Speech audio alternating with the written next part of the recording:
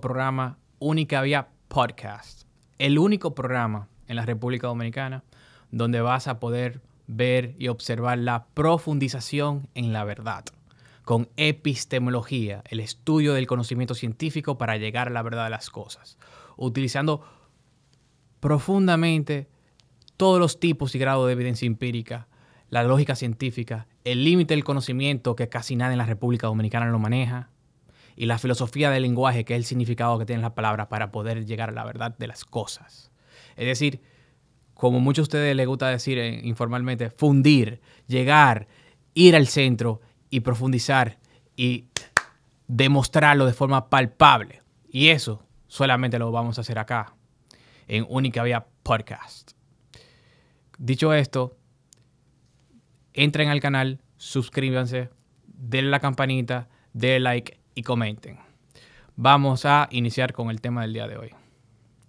Sucedió algo muy interesante, exageradamente interesante, el día de ayer. De hecho, fueron dos eventos que coincidieron con la misma naturaleza. Me refiero a lo que le sucedió a Elon Musk, en el cual grandes empresas que patrocinaban y literalmente pagaba anuncios en su red social X, el antiguo Twitter, lo chantajearon, eh, o en inglés como se dice blackmail, diciéndole que si seguía permitiendo la libertad de expresión y otras ideas que no sean de izquierdas, es decir, las ideas de derecha, en la plataforma le iban a retirar los anuncios y, y todo ese dinero que pagan a Twitter hoy en día X. Y la respuesta correcta de Musk fue, go fuck yourself. En español, traducida, vete a la M. Literalmente. Lo cual te apoyo 100% Musk en esa decisión. Pero no fue el único evento de esa naturaleza. La cuenta de Twitter de la oficina presidencial del nuevo presidente electo, Javier Milei, en Argentina, fue censurada, fue eliminada por Instagram. Una página que es oficial que simplemente hace comunicaciones. Y esto no es pura casualidad. Esto es lo que se llama gramchismo puro. La obsesión de la izquierda controlar todo. Y cuando digo todo me refiero a todo aspecto de la vida. Y de hecho, la República Dominicana no se salva de esto. En breve voy a explicar la historia del granchismo y del control de todo y todas las instituciones por parte de la izquierda en la República Dominicana. Pero ¿qué es esto del granchismo? ¿Qué es esta obsesión del control que yo me refiero? Todo se origina al famoso neomarxista de Antonio Gramsci, italiano, cerca de los 1920, especialmente en sus escritos de las cartas precarcelarias, donde él sugirió, o mejor dicho, hizo un mandato, un manual para toda la izquierda del mundo completo en realizar una estrategia para que el socialismo y el comunismo no sigan fracasando. Estamos hablando de esa época, cuando recién acaba de empezar la revolución bolchevique, que ya estaba totalmente fracasada. Y rápidamente Gramsci se dio cuenta, inteligentemente, que por la vía de la violencia y la fuerza iba a ser difícil que el comunismo y el socialismo llegue a todos los países. Especialmente por el gran fracaso que sucede y las muertes de hambre, porque el sistema literalmente no funciona expropian todo, nadie tiene incentivo de producir, comienza a imprimir dinero porque nadie está produciendo, nadie está trabajando, se acaba todo y todo el mundo se muere de hambre. Como le pasó con los 5 millones de muertes de hambre a, Lenin antes de Stalin y más de las 30 millones de muertes de Stalin. Y eso es lo que sucede con el socialismo y el comunismo. ¿Y qué pasa? Gramsci se da cuenta de eso. Y entonces procede a formular otra estrategia diciendo que el socialismo y el comunismo no es mejor hacerlo por la vía de la fuerza, sino literalmente por la vía de la cultura, la hegemonía cultural del marxismo, del comunismo y el socialismo. Lo que hoy en día también se le llama informalmente marxismo cultural. Y eso es infiltrarse en todas las instituciones y en toda la cultura. Dígase, la iglesia, el cine, el arte, la educación, muy importante, la literatura, todas las carreras, derecho, economía, filosofía, política, sociología, historia, todo. Que nada quede salvo. Infiltrarse los comunistas y los socialistas y cambiar, hacer revisionismo marxismo histórico y cambiar, inyectar esas ideas fracasadas a todas las áreas de la cultura, de las instituciones y de todos los libros de texto, de todo absolutamente, que fue lo que posteriormente aplicaron los filósofos de la escuela de Frankfurt. Y muy importante también las instituciones públicas. Y sobre todo vieron la gloria cuando vieron la institución pública y el Estado mundial, que es la ONU, donde se metieron todos de lleno, felices, porque es una burocracia que no responde a nadie, que no es democrática, que nadie vota y elige, simplemente se insertan y no hay nadie que le encante meterse más en trabajos de vagancia, donde no se trabaja, donde solamente se doctrina, que a los izquierdistas, socialistas, comunistas y progresistas. Entonces, Gramsci realiza este manual, que es un manual para toda la izquierda global, y se aplica en todos los países y conquistan todo. ¿Cómo sucede esto en la República Dominicana? En el caso de la República Dominicana, inicia todo en el año, en la década de los 60, nada más y nada menos con el grandioso patriota de Juan Bosch. Sucede. Primero, el marxismo, el socialismo, el comunismo y sus ideas ya habían llegado antes que Bosch en los 60 en la República Dominicana. Desde el inicio de Trujillo, y de, hecho, el mismo Trujillo aplicó muchísimas políticas de izquierda y de hecho aplicó casi todas las políticas que receta el manifiesto comunista, como la expropiación, los impuestos progresivos, entre otras, eh, y muchas otras. ya existían esas ideas. El mismo Bosch ya la había, de hecho, promovido antes de llegar a la presidencia, durante la era de Trujillo y de hecho un poco antes de Trujillo, con otros autores.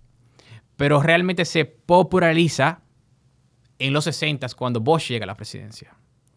Y deciden que, gramscismo, infectar, insertar las ideas y los socialistas los comunistas y las ideas de izquierdas en todas las instituciones en todas las instituciones, literalmente. Especialmente en las instituciones privadas de educación y también en las públicas.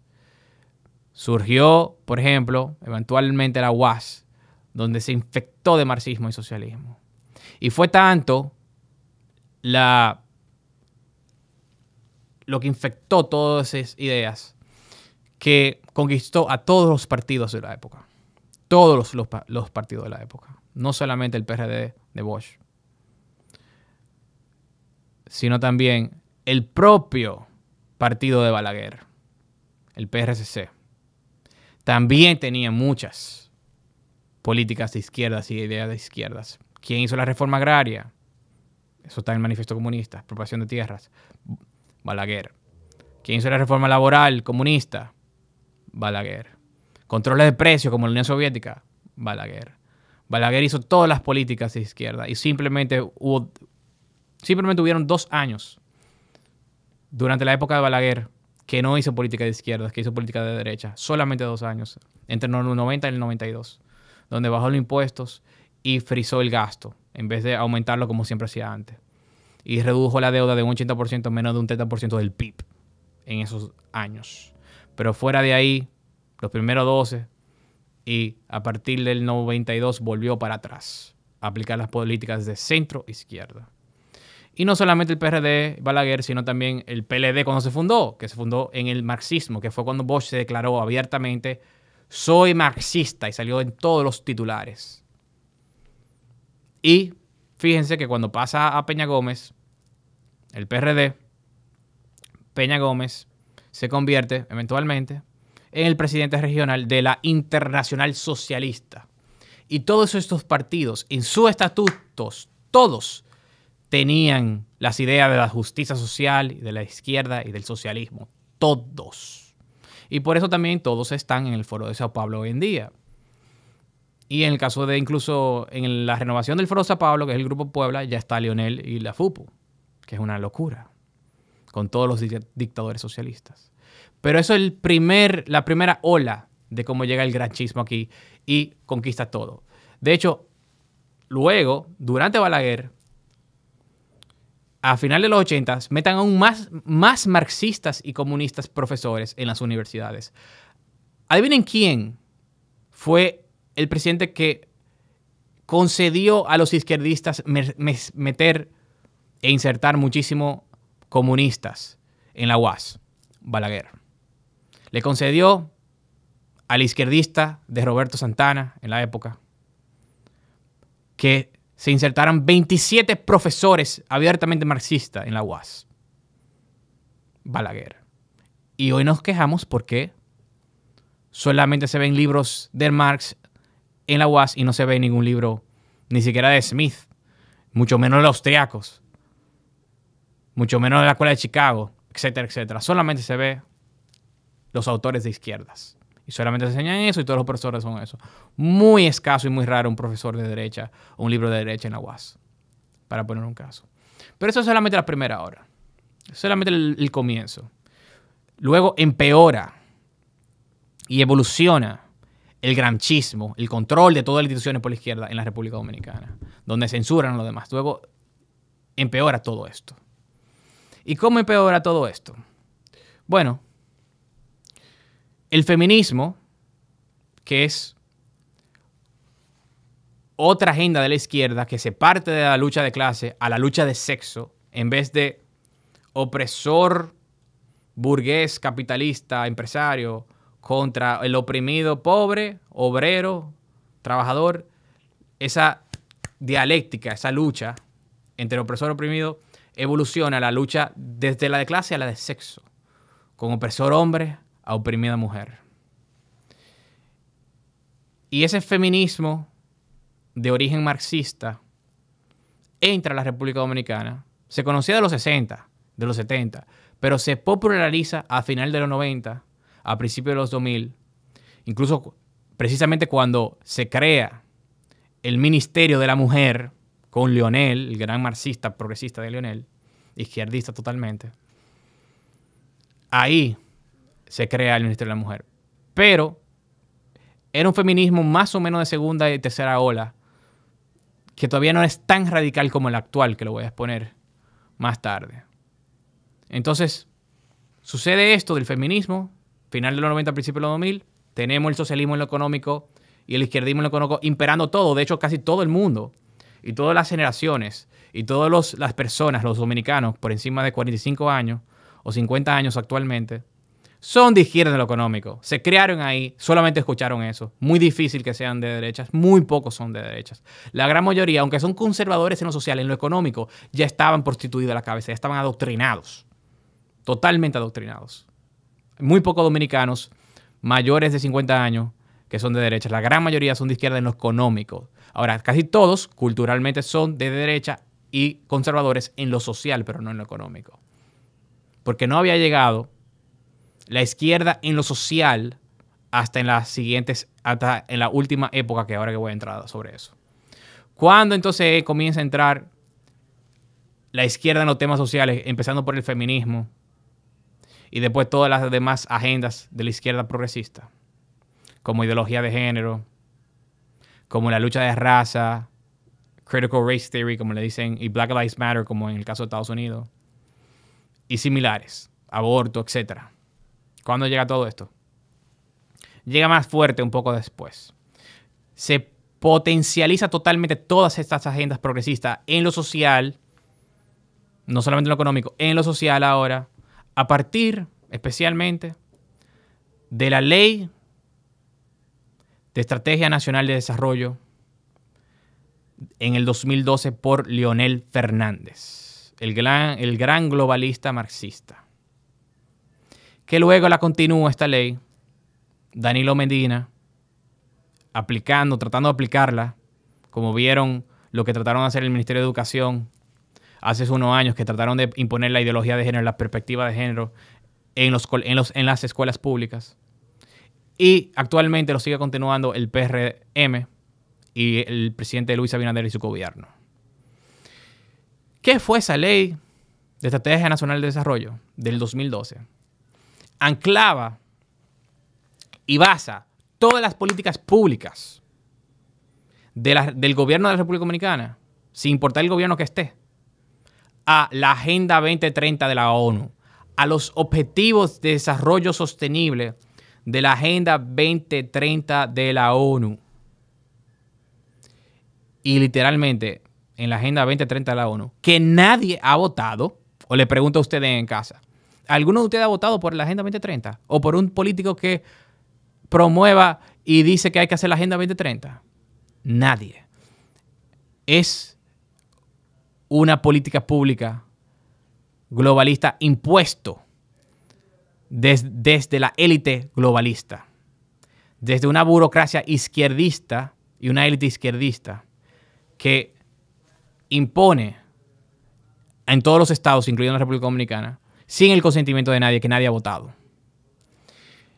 Esa agenda incluye todas las agendas de la izquierda, incluye aborto en el ODS, Objetivo de Desarrollo Sostenible de Salud, incluye ideología de género, en el, ODS, Objetivo de Desarrollo Sostenible, de desigualdad y de educación y perspectiva de género.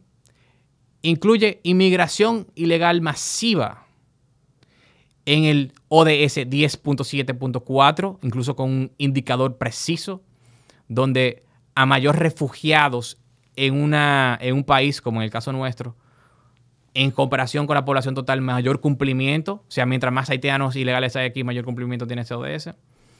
Y incluye todo esto, aborto, feminismo radical, socialismo, keynesianismo, que es socialismo gradual, etcétera, etcétera. Incluye todo esto. Y lo imponen las instituciones. Pero lo peor no lo he dicho todavía. Lo más importante es lo que viene actualmente y es que a partir de esto que ancla a este progresismo y esta izquierda en todas las agendas, vemos cómo se potencializa y se radicaliza el feminismo en la República Dominicana en todas las instituciones. Por ejemplo, podemos ver cursos de feminismo radical en la Junta Central Electoral, en la Procuraduría de la República, o sea, en el Ministerio Público, clases abiertamente, uno lo puede ver, lo he subido a mi página y en el Tribunal Constitucional, que es súper peligroso por el gran poder que tiene. Pero no para ahí. Ojalá más solamente fuera eso. Vemos ya formalmente ideología de género en las instituciones como hizo Miriam Germán, la procuradora en el Ministerio Público, que es obligatorio que los funcionarios de la Procuraduría y el Ministerio Público utilicen el pronombre de género que se autopercibe mentalmente una persona en contra de su libertad de expresión y conciencia y religión. Para que ustedes vean ya dónde ha llegado esto. Y también la lucha de raza, que parte de la lucha de clase, de blanco malo, dominicano malo, haitiano y negro bueno, con la afrodominicanidad en el Ministerio de la Cultura, gracias a Milagros Germán. Es decir, es igual como lo que es Black Lives Matter, Critical Race Theory, haciendo lo mismo aquí en la República Dominicana. Es decir, infectaron todas las instituciones, todas. Y por razones de tiempo, hay miles de ejemplos más que no voy a decir. Pero si quieren saber más ejemplos, vayan a, arroba Fernando Abreu, rayita abajo, única vía en Instagram. Y ahí puedan poder ver todos los ejemplos. Y para finalizar simplemente, lamentablemente la sexualización de los niños con la normalización de la masturbación a niños de dos años, a bebés de dos años, en Conani, y como para poner el cherry encima de la batida progresista que estamos hablando. Lo peor de todo, que ahora a los jueces que están aspirando al Tribunal Constitucional le quieren imponer y solamente están aprobando, porque es una mayoría progresista que hay ahí, los que tienen posiciones progresistas y de izquierda. Como pueden ver, como pasó con el caso debatido del aborto en el Consejo Nacional de la Magistratura, como pasó con la, no puedo decir el nombre porque YouTube me lo censura, es parte del gramchismo también, de aquella cosa que se inyectaba, que lo hicieron a la, fuerza, para ustedes me entienden, que comienza con eh, V, había que estar también a favor de eso, etcétera, etcétera. Ese, esta es la historia triste, la triste historia de la izquierda del progresismo y sus agendas en la República Dominicana y del gramchismo que quiere controlar absolutamente todo. Como pasa también en todos los colegios, tanto público como privado, como vivo en el Babeque y muchos otros que se está sentando poco a poco. Es una locura lo que está pasando. Y esta es la realidad. No solamente en República Dominicana, sino en todo el mundo. Con, con esto nos, nos despedimos. Suscríbete en nuestro canal. Ya saben. Hasta la próxima.